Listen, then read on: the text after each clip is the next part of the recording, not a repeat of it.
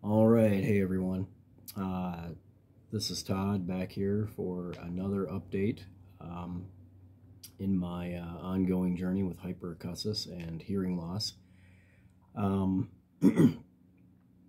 it has been an interesting, long journey, and it's been a while since my uh, last update, so there's a lot of things to talk about. I've just recently passed the year mark, uh, last July 7th was when my uh, incident at work occurred.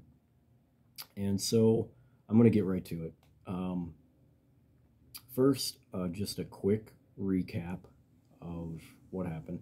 I've got this will be my fourth video, it may be my last. Uh, you can watch the first one to see sort of the progression in the other ones.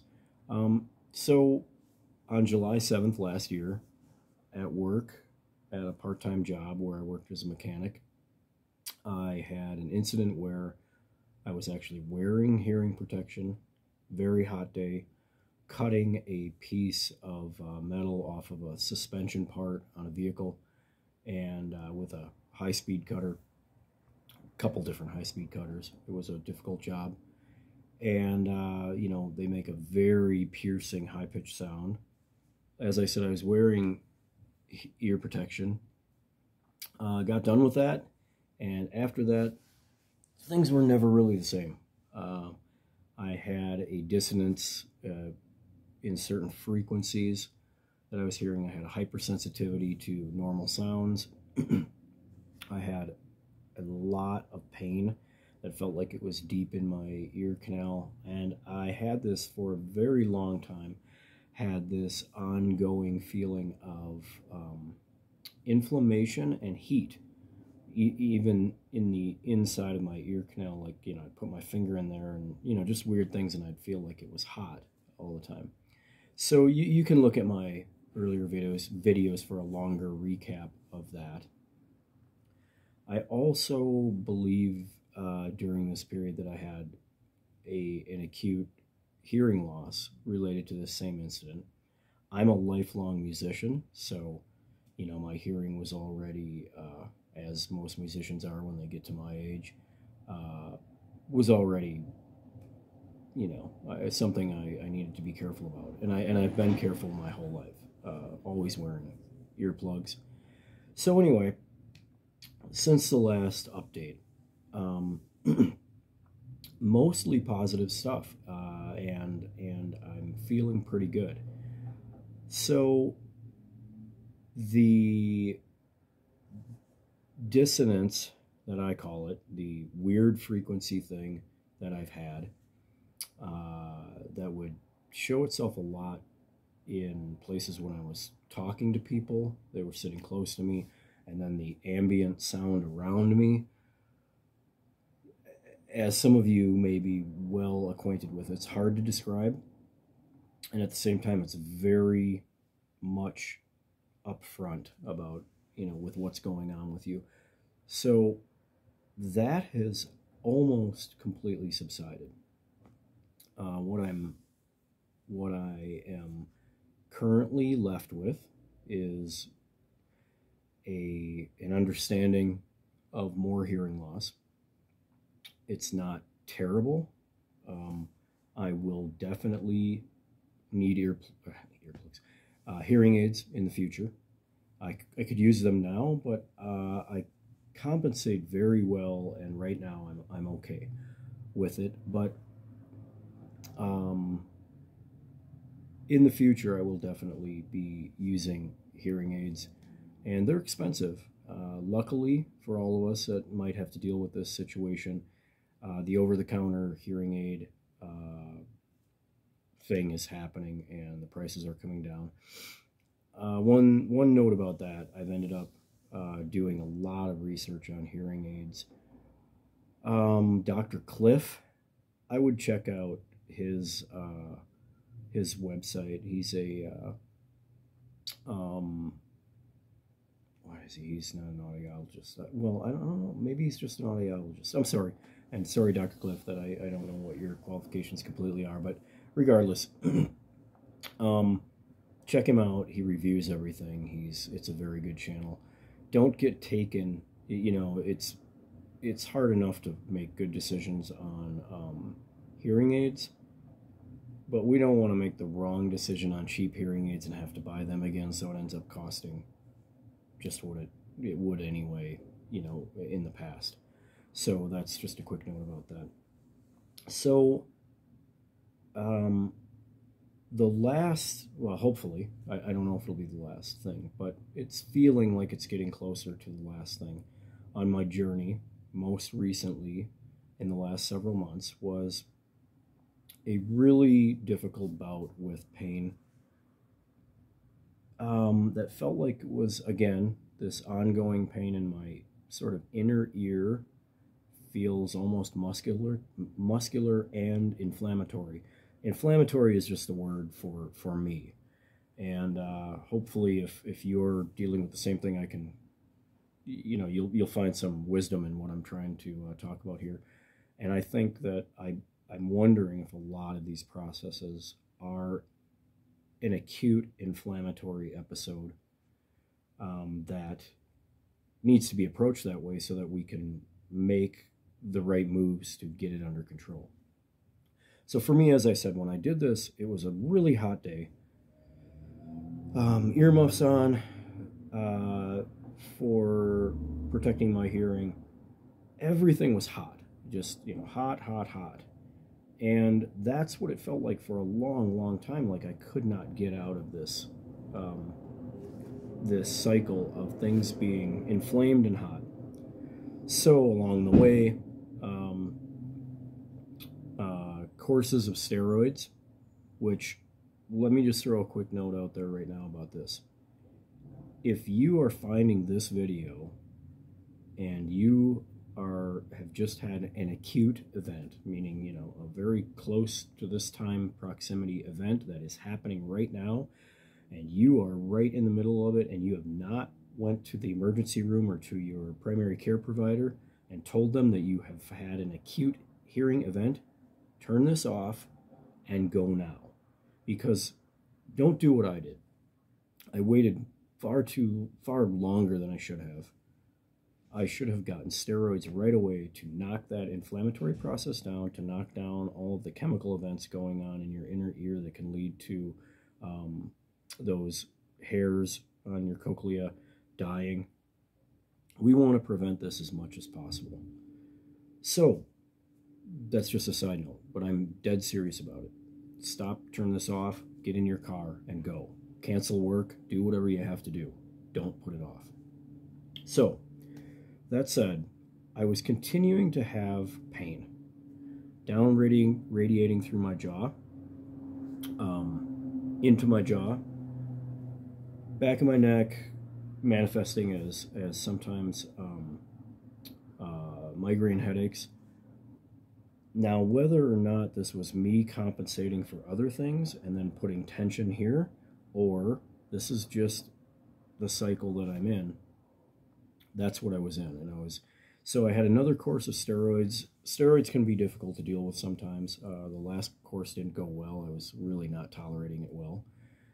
Uh, I went to see several doctors. I had changed insurance, so that gave me a little better options. Ran across just some really good advice, even though I'm a nurse and I'm very aware of these things. Sometimes it's hard to separate yourself from what's going on and just get a clear picture.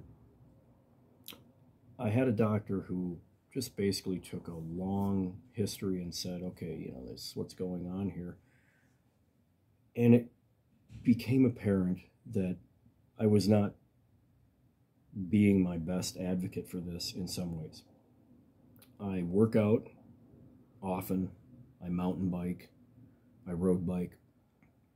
I was still trying to play in my band that I was in, even though we had dropped it down to like an acoustic level, but I was singing still and playing drums. I had come up with a, a very quiet sort of, uh, using brushes, a quiet sort of a kit. But as anybody knows who sings and plays in a band, even with uh, hearing protection in when you're singing, inside your canals, it's it's quite loud. You hear yourself really well. You get this canal effect. Um, So when that was all looked at in total, it was kind of like basically the end result was I was never giving everything a rest, which is really hard for me to do. I'm active, I'm driven, I'm kind of a, I don't like sitting still. So, um, it led to sort of a, a sort of, you know, this has to happen moment. So, I stopped working out. I stopped lifting weights, stopped biking, stopped the band, started taking ibuprofen at prescription doses, which is 800 milligrams three times a day, uh, staying really well hydrated. If you are taking um, ibuprofen or NSAIDs at these these sort of prescription doses, absolutely make sure that you are eating uh, when you take them. They will chew up your stomach like crazy. So, just another side note. And um, so, what this led to is just doing anything I could to get this calmed down. But my hearing had started feeling better. The hyperacusis has started feeling better.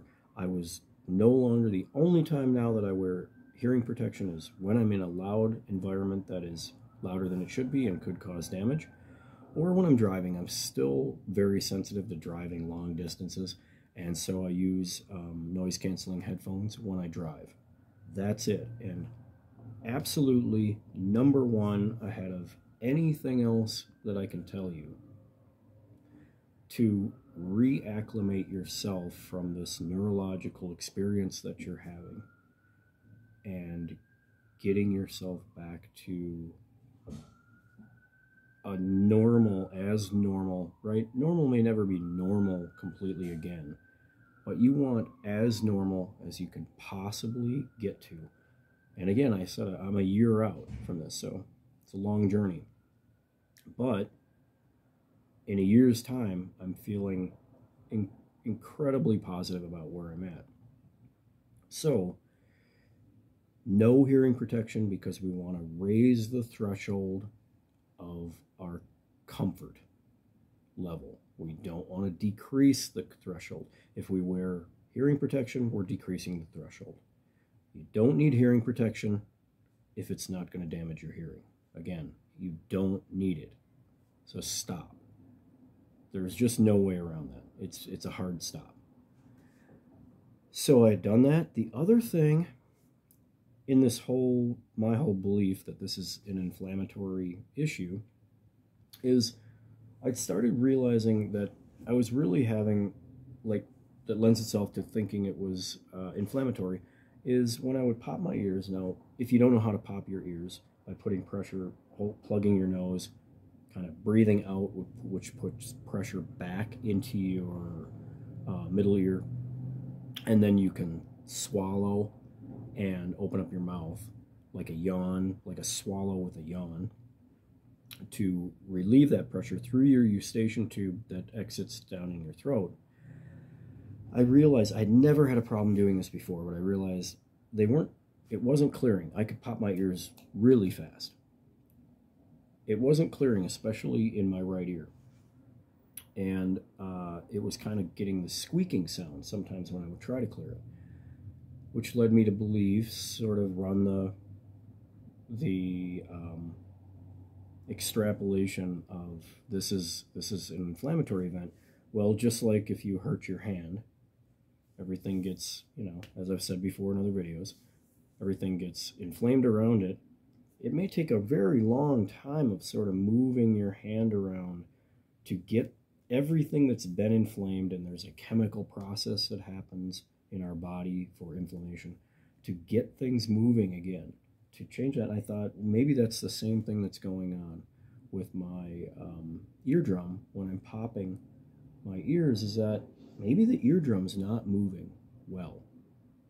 Maybe that's causing this weird vibration that's then causing this strange sound that gives me this weird frequency sound. Maybe that's part of what is is making the hyperacusis sort of feeling of being overwhelmed by normal sounds. So I spent, as I said, I stopped working out, stopped doing anything that would cause inflammation, taking ibuprofen three times a day, every day, hydrating really well, relaxing. And then I was doing the thing where I was popping my ears many, many times a day to get everything moving in there. And that all of a sudden seemed to have a really positive effect. So, again, it's following the lines of, you know, how do we deal with inflammation? If this was a hand injury, it would make total sense. I think we get a little, we don't follow the same lines when it's something we can't see and it's something that's kind of foreign. Sometimes it's our inner ear. But it seems to be following the same path. So, that has brought, oh, oh, okay, sorry. That has brought me to where I'm at right now. Where I'm at right now is the last leftover sort of thing I have is you might you might hear. My throat, and this has been in the whole, you know, in the whole grouping of everything, sort of ears, the micro muscles and, and things that are going on in my inner ear, down through my neck, jaw. And then I, for a long time, I've had this thing that corresponds directly with the timeline and everything else here, where, and I think this came with me singing in my band, that uh, my throat was always bothering me. I was always clearing my throat, swallowing a lot, feeling like sometimes I had something in my throat that I couldn't get out. Again, an inflammatory thing. And how do you know it's inflammatory? Well, one of the things that you can do is if you take that, if you're taking steroids, or if you're taking a prescription dose of ibuprofen or something like that, um, if you get relief from that, those things decrease inflammation. So it's, it's leading you down that track immediately. That if you're getting relief from something that decreases inflammation, like an NSAID, a non-steroidal anti-inflammatory, then and then it comes back after that wears off. It's an inflammatory process. How do we stop that? We stop the overuse, we stop aggravating it, and we give it a break with, with anti-inflammatories. So where I'm at right now is I still have that kind of going on. Little hoarse. Um, some of this just might have been severe over aggravation by me continuing to sing in the band. That, that I think that's the, the main culprit here. And all this inflammation that was happening because of the primary injury. So again, no singing, just resting this. And I've had to kind of take it, you know, sometimes you got to really go at something to knock it down and you've got to give it time. So I love hot foods. I've been laying off of hot foods. I like to drink soda. Uh, you know, a, a couple a couple a day makes me really happy. But the carbonation, I wondered if it was really making this worse. I stopped that. Um, caffeine, I wondered if that was making the tension in my neck worse, and then uh, leading to a, a bigger issue. So, cut my caffeine way down. No soda intake. Uh, no carbonated beverages. Um, and cut my hot food intake down. So, sometimes that's what we have to do to get to the bottom of these things. It sucks. It definitely affects the quality of your life it's not a big thing to give these things up, but you know, as everybody knows, when this goes on for a long period of time, you get really tired of this dominating your life. So if you're really tired of this dominating your life, I understand. But let's let's take a step back from this. A year ago, all bullshit aside, I was almost suicidal. I had a night where I came really close to committing suicide. I didn't think I could deal with this anymore. I didn't think anybody would, could really understand it. I felt like I was locked in a cage by myself and I couldn't get out. And it was a shitty, terrible cage. A year later, it's incredibly better. But it has taken a focus for that year. And it's taken a lot of discipline. So don't get discouraged, but also be honest about staying on the track. Get rid of the hearing protection when you don't need it. Get rid of the hearing protection when you don't need it. Get yourself out, walk around, go talk to people. Even though it sucks, you can tell them. Say, hey, I got this thing going on, I'm a little distracted, but you need them. You need interaction, you need people, you need this thing to be going on. Um, if you believe you have a, a, thing going on like me, like it's an inflammatory process, or think way back to when it started, if it was an inflammatory process, did you have a big loud noise that went off? Did you have something that happened that really affected it? And try everything. Now, when I say try everything, I don't mean try potentially dangerous things that you you might take or ingest or whatever. You know, I'm not talking about that. Be smart. But I'm saying like like I've had to do. Stop doing some of the things you're doing that might aggravate it. Uh, popping the ears. I, I you know really try that. Try moving things around. This is it's how we can move things around in here.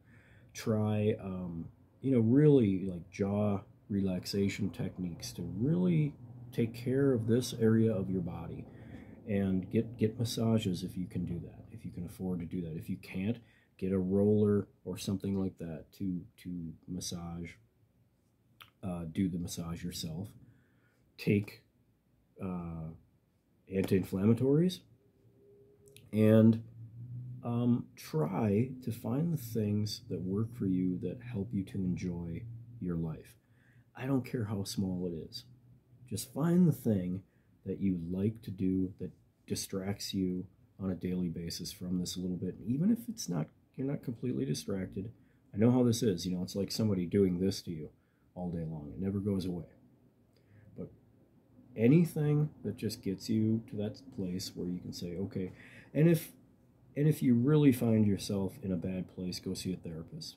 I can't recommend that, you know, any any more than than than I could. I, I just I've I've seen therapists my whole life, uh, and so it's nothing new to me.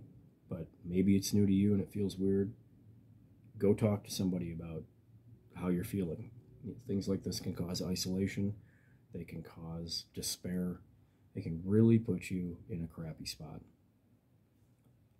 And these changes happen slowly you know, they're the kind of changes that happen where one day you wake up and you don't even notice that some aspect of this has gone away.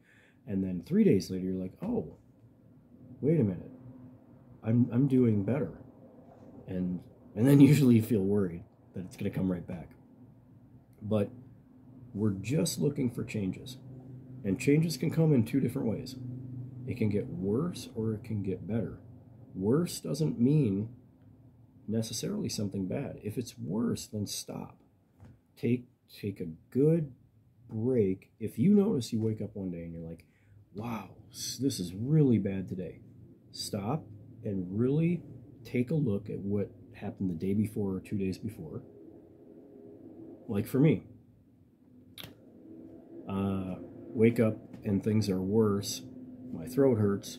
My hearing seems worse. I feel tense and tight in in my jaw and in and in my upper inner ear. Well, okay, I you know I worked out three days ago hard. I had band practice the day before. I worked my night shift after that. I didn't get a lot of sleep, and big surprise, everything's fired up again. So get really honest about yourself, about what's going on, and then just work slowly at bringing it back. But if it can move in one direction, it can move in the other direction. That's what I'm getting at. So, get yourself out. Don't overprotect your hearing. Anti inflammatories. Getting yourself a therapist if you need one. Getting yourself out there around people so you are not isolated. And slowly making progress forward. That's all we're trying to do. So, a year later, here's where I'm at. I hope that I've helped anybody, somebody, and uh, I will. I'll do another update, but it'll probably be quite some time because I'm feeling pretty good and I think I'm in a good spot. Uh, but my journey with hearing is not over. The next big thing will probably be hearing aids at some point. I'm definitely a vain guy, so I'll be getting something that's, uh, you know, in inner in the ear canal, hidden type uh, hearing aids from my research for me. Uh, just in case you're going down this line, the Eargo, E A R G O, Eargo hearing in in the canal hearing aids are what I'm kind of leaning towards. They seem like they're the um, most affordable, uh, best choice for me, but we'll see. So um, I hope that this helps you guys. I hope that uh, all my information has helped, and uh, good luck with everything. And send any questions, comments. I try to answer them as soon as I can. All right, take care. Thanks.